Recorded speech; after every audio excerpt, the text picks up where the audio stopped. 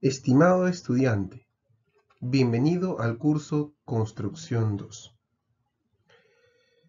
Este curso tiene como resultado de aprendizaje el aplicar los conceptos básicos de las diferentes etapas del procedimiento constructivo y los conceptos básicos de las herramientas de gestión para conseguir los estándares de calidad apropiados. Consta de cuatro unidades. La unidad 1, movimiento de tierras y construcción de subestructuras. La unidad 2, construcción de estructuras verticales. La unidad 3, construcción de estructuras horizontales y acabados en obra. Y unidad 4, instalaciones interiores y gestión de la construcción. Es importante que hagamos una reflexión en cuanto a la situación de las viviendas en el Perú y que tiene que ver mucho con nuestro curso Construcción 2. Shirley Chilet, ex decana del Colegio de Arquitectos, menciona que el 80% de las viviendas fueron construidas por sus propietarios sin contar con asistencia profesional. Eso quiere decir que eh, muchas veces estos propietarios construyen con la asistencia de un maestro de obra, pero no de la mano con un ingeniero civil o un arquitecto.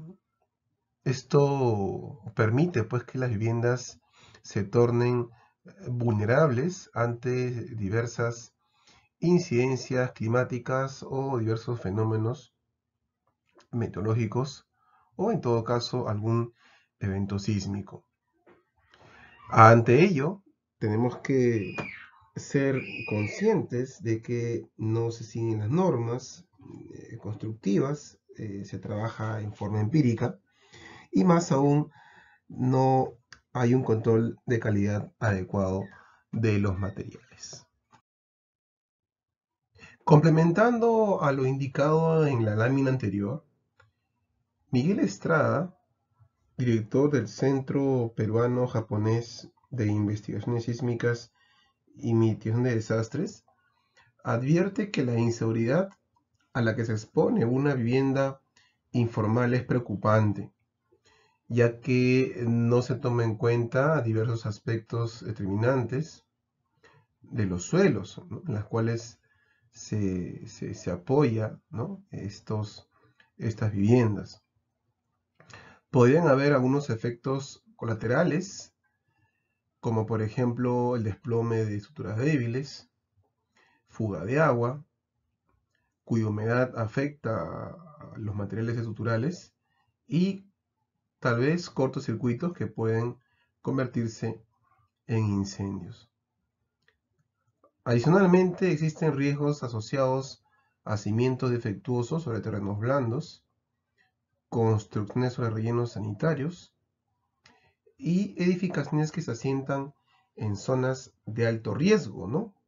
Basta con ver estas imágenes en las cuales estas viviendas se encuentran muy cercanas a las zonas de eh, cauce de, los ríos, ¿no? Y es una situación muy, muy común, sobre todo en épocas de, de, lluvias, ¿no? Y hace poco hemos tenido en el 2017 el fenómeno del niño. Entonces, a este incluso hay que incluir eh, una, un adecuado ornamento territorial eh, de estas viviendas y muchas veces también por, lo, por la flexibilidad y las autorizaciones que brindan las entidades municipales y también eh, el acceso a los servicios que no tienen pues estas eh, viviendas, por lo cual hay mucho que trabajar en este aspecto.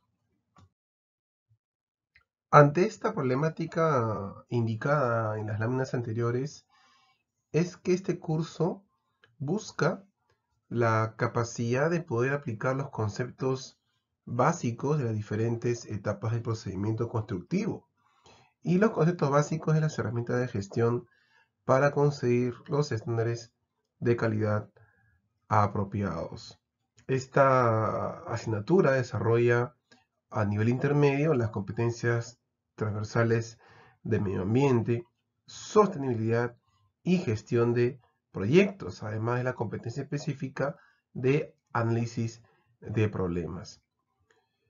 En virtud anterior, su relevancia reside en desarrollar en el estudiante la capacidad de interpretar y emplear los procedimientos conductivos pertinentes en un proyecto de edificación, así como la gestión de proyectos de ingeniería civil. ¿Sabías que hasta 200.000 viviendas podrían colapsar en la ciudad de Lima ante un terremoto de 8 grados? ¿Sabías que una correcta lectura de planos ayuda a entender mejor el diseño y a desarrollar adecuadamente los procesos constructivos? ¿Sabías que un correcto metrado puede optimizar el costo de un proyecto? Estas y otras interrogantes vamos a poder responder en este curso Construcción 2 que busca justamente desarrollar o entender estos eh, procesos constructivos de acuerdo a la normatividad vigente.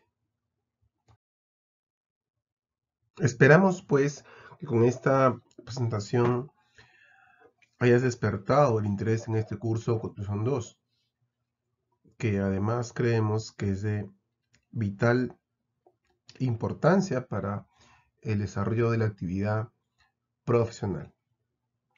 Con esto queremos darte nuevamente la bienvenida a este curso.